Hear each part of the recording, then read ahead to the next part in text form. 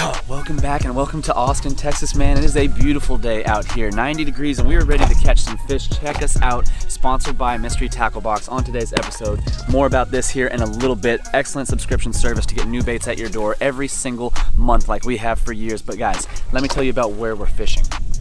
We came down here to hit up Lake Austin primarily, but we saw that this is a brand new property with PWF private water fishing. You've seen us fish some private water locations by them in the past and check it out. If you guys want to sign up, you can save $50 off initiation. Code's gonna be in the description. We're gonna be fishing a very scenic 30 acre lake out here tonight. It's so awesome. We're right behind the resident's house and the place is looking beautiful. They got a dock out here, a concrete boat ramp. There's lily pads surrounding this place. There's cows jumping in the water, having a good old time, and we are ready to do the same as well, y'all. We got the baits inside the box. We're gonna go ahead and rig up. We got a lot of stuff already set up on the hot tamale. If you guys are newer subscribers, the bass boat is out for the Austin trip. We already saw a fish explode on what's probably some bluegill right here in the shallows, so hopefully the bite is on today. The water does not look crystal clear, but more about this uh, location as well as Mystery Tackle Box in just a second. Let's go ahead and get this boat launched.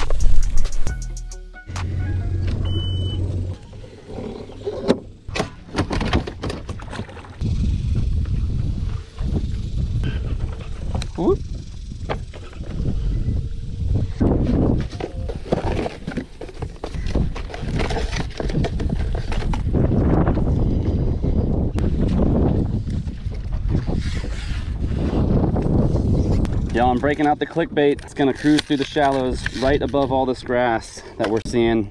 Uh, we're throwing at the bank real quick since we saw that one bass just attack a little bait fish up shallow.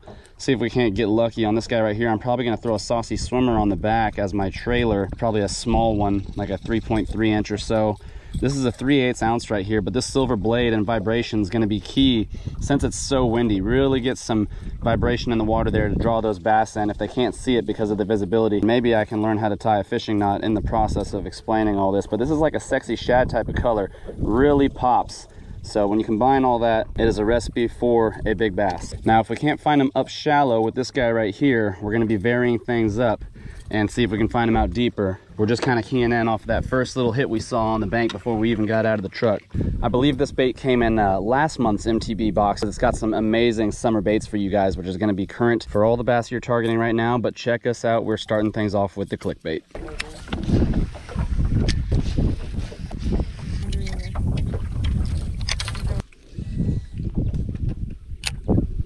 Oh, we looked at it. You're on? Nice. Is he? Is he? Are you swimming? I think you got him. You got him. Found a couple out here. Okay. Good one too. Nice. Yeah. First one on the property. Oh man, he uh, There's a couple out there. Hold on, there's a couple out here. he All right. nowhere. I think we're keying in on them, y'all. We found a couple on live scope. The place is pretty shallow, but we find a nice pocket. And uh, there's still a few more out here for sure. All right, y'all. First one of the night. Ended up finding them on that moving bait. I just lost one on that good old saucy swimmer with the underspin. I'm gonna have to change him out because this guy got his tail. But um, you know, we're just live scoping him. Not a bad fish at all. This place is definitely pretty strange. It's like, well, let's go ahead and get him in the water real quick. First fish of Austin. slow rolling. This place is very strange. We're still trying to figure it out because it seems like the entire lake is like in between one foot to like three foot. We finally found this area that seems to be in that four to five foot range, and that's the first fish that we were able to link up with. So it does seem like they are liking that little bit of a deeper bit of water opposed to the shallow stuff.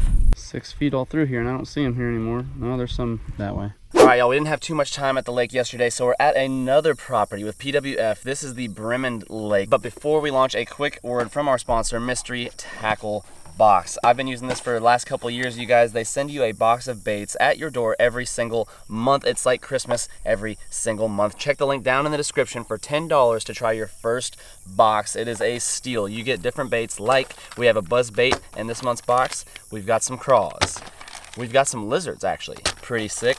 Some paddle tail swim baits, a deep diving crank, or what appears to be a deep diving crank. It's got a larger bill and then another square bill in here. They've even got some hooks in the box for your favorite soft plastics, just so you have some options, you guys. You could even use it, of course, with all the stuff inside of the box. But y'all can try your first one for 10 bucks. Use code Westin at checkout on your first mystery tackle box. You literally specify what type of fish you want to catch, and they're going to send you a box of baits catered to the area as well as the time of year for that species. It does not get much better. Go out there and catch some fish, you guys. Guys. Thanks to Mystery Tackle Box for sponsoring today's video.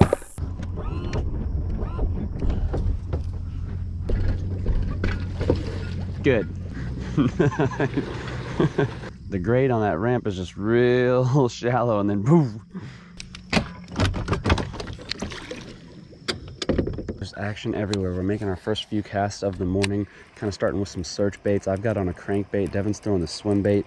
We're noticing a lot of fish on live scope here, a lot of fish, and they're all above eight feet in depth. So even though we're sitting in 10 feet, and uh, just back there we were in like 18 feet, there are a lot of fish hanging out above this thermocline layer. There's like a temperature shift. You can see it on the graph. And so we're trying to see if we can get on a little active bite real quick before we get into these trees, which at this property looks so amazing. There's some big fish at this location down here in Austin, and we are definitely excited to start pitching some Texas rigs, jigs, etc., and all that goodness here shortly. But if we can get on a little move and bite, just put a fish in the boat real quick, that'd be all right with us.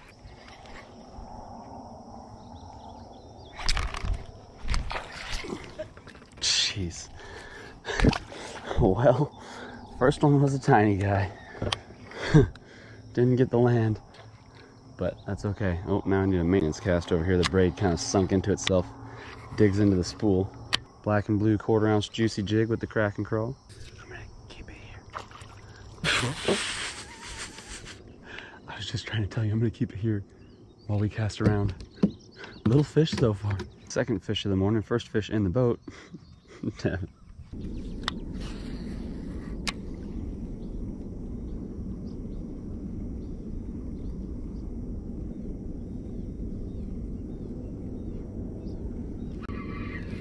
Got one. Little swim bait. nice. 10 pound line, my first catch ever on the Curado BFS. That's the Bait Finesse Systems Curado, dudes. Sick, y'all. Little swim bait's getting him. It looks just like this guy, honestly. It's just like a baby bass kind of color. That's funny. 3.8 inch saucy swimmer on just a little mushroom jig head, like a little Ned deal. Getting it this morning, right off the uh, tree, and like two foot of water. I think that's my first fish landed today. And the rod locker deal, there's a sexy shad crankbait rigged up on that red scorpion. There's fish everywhere. This is ridiculous.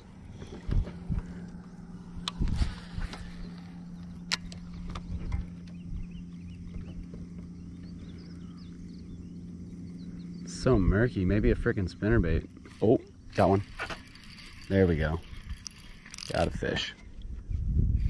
What is it?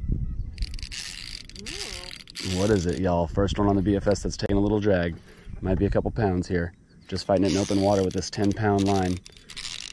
Baby saucy swimmer. The motor. What do we have here? This could be, might need the net for this guy. oh my gosh. This reel is sick. This fish is, uh, he's running. Oh my gosh. It's almost like throwing spinning gear right now, y'all. I'm on a twitch rod. Oh, he's a couple pounds. Okay, nothing huge, but this is sick with this reel. oh my gosh. it's like a smallmouth fight.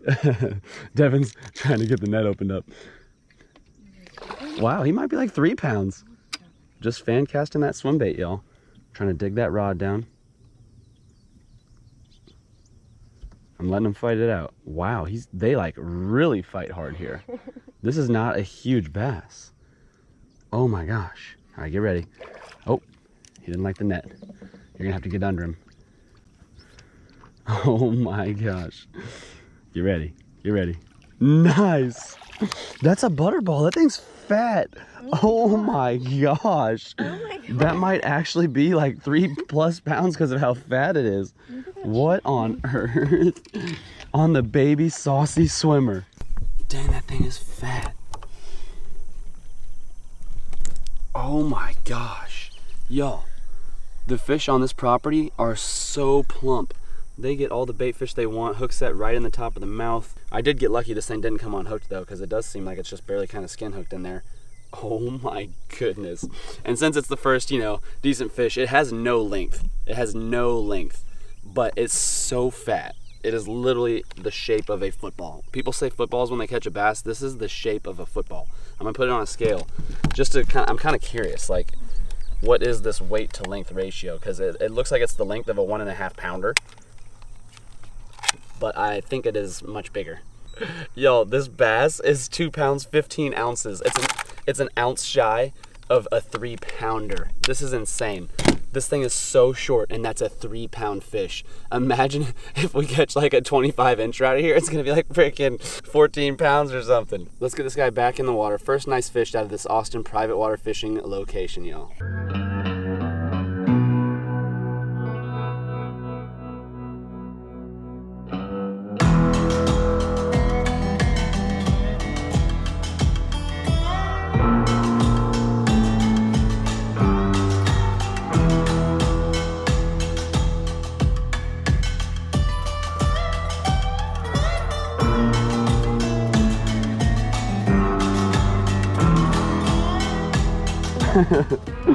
that was cool. I wonder if I should throw that mini Klutch. It's like this big micro Klutch. Watch me catch like a, a five pounder. Micro recon. There's actually rattles in here. Which one do you think I should throw? Lipless or the recon? We are breaking out the new micro Klutch. It is so calm this morning, but I've already done all the calm tactics too. I mean, I threw the worm wacky rigged for a little while. We downsized baits. We went back into the trees. It's been just a little tough today. This water clarity, by the way, uh, I think is normally better here. So I don't know if it was because of the recent rain, but it might have rained here a little yesterday. Yeah, that could definitely be throwing them off a little bit. I'm just thinking this little guy, he's got a chartreuse tail. He's also got that rattle and he's so tiny that it's like an irresistible treat and it's very hard to tie a knot with like this 10 pound line. I'm not used to this micro stuff. Y'all, check this out. I'm throwing that micro Klutch. It is an eighth of an ounce and this thing is launching it. 10 pound line on the BFS. This thing is so sick. Uh, this is really my first test of the Bait Finesse Systems reels, any of them. And the clicking drag is, is awesome because you kind of realize, you know, you've got that lighter line on there. You can't necessarily tell how much drag those fish are taking sometimes with that lighter gear unless you have that audible cue. So very cool. Look at this Klutch.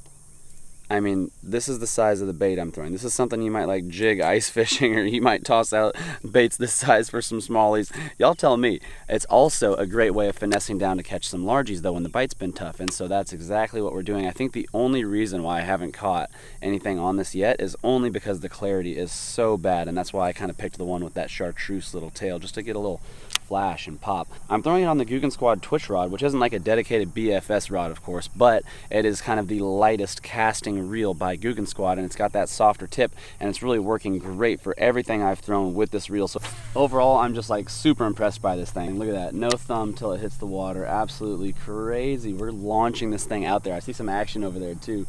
BFS reel, man, it's so compact, very easy to palm. This is only a, uh, a 70 size spool. So the thing is, that lighter line though, you can still get a lot on there and I'm able to make bomb casts. I've retied a lot and I've still got so much line on here, it's not even funny. The handles are, I believe, a little bit shorter, but for sure, even like the grips feel smaller. Everything about this is just more compact, designed for those lighter finesse baits. I'm loving this thing so much, I'm gonna be throwing it the rest of summer as the bite gets finicky like this. You know what they do, they like to go out deep. Here today, the only reason we aren't throwing something at the bottom is because of that thermocline layer. All these fish seem to be hanging out up high, and even in the trees over there, those are in like four to six feet uh, maximum depth, and we haven't had any luck off the trees today. We threw a lot of different bottom baits, so that's when you gotta finesse it down in the summertime. Something like those small swim baits, mini zingers. So if you guys have any more questions on the Curado BFS, let me know exactly what they are in the comment section. I'm gonna try and do my best to answer any of those, and maybe even come out with a follow-up, like 90 day review video, and see if she's still cranking, turning and burning, and how many big fish we've caught on this thing. Because that was an absolute thrill ride catching that three pounder on this thing. Honestly, that was way more of a fun fight than if I just caught that on the beefy like flipping stick and I'm over here just like yanking that thing up. It would have taken no time at all on something like a Texas rig. But with this, it made it so much fun. So I think we're wrapping our fishing up down here in Austin, Texas. We do have a checkout at noon and we still got a ways to drive back to the hotel. We got to get the dogs all prepped and ready. So we'll catch you guys in future videos back up at Dallas. Thank you again to Mystery Tackle Box for sponsoring today's video. We'll catch y'all on the next one. Peace. I just took the GoPro off. We decided to make a couple last casts and I caught a fish on the mini Klutch. Yo, a largie on the mini Klutch. Yes. I'm literally almost more excited about this fish than that three pounder. This thing came on the freaking micro Klutch, baby. Look at this bait. This is real life. This is not a joke. This is not a joke. Look at that bait. Oh my gosh. Literally, if we did not film this, I would not believe that micro Klutch. That is so funny, man. Little finesse lipless crankbait right off of the tree over here. That is sick. Just when we thought we were all done for the day, secure one more before we split.